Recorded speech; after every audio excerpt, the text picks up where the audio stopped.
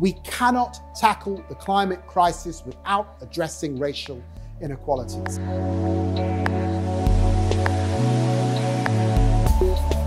The exploitation of our planet's natural resources have always been tied to the exploitation of people of colour. The logic of colonisation was to extract valuable resources from our planet through force, paying no attention to its secondary effects. The climate crisis is, in a way, colonialism's natural conclusion. Black people breathe in the most toxic air relative to the general population. We are more likely to suffer from respiratory diseases like asthma, and it is people of colour who are more likely to suffer in the climate crisis. This is no coincidence. The cheapest housing tends to be next to the busiest roads, and many of the lowest paid jobs are in the most pollutant industries. People of colour consistently lie at the bottom of the housing, educational, and employment ladders. This story connects black communities across the world, from London to Lagos to LA. The solution is to build a new coalition made up of all the groups most affected by this emergency. Black people in American cities who are already protesting that they cannot breathe.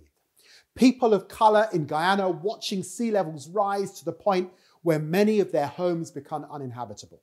Young people in places like Tottenham, London, afraid of the world that they will grow old in, and progressive allies from all nations, of all races, religions, creeds, and ages on their side, all demanding recognition that climate justice is linked to racial justice, social justice, and intergenerational justice too.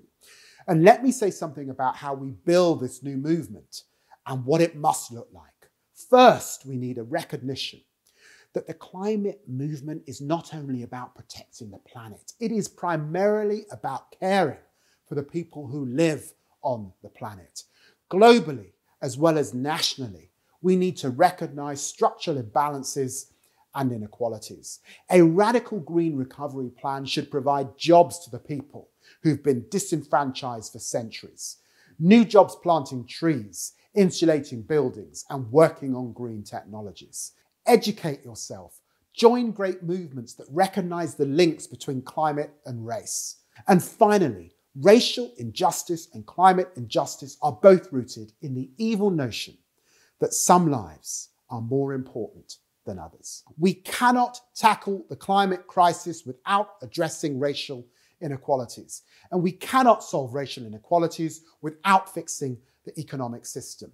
The New Deal the economy needs is not only green, it's green and black.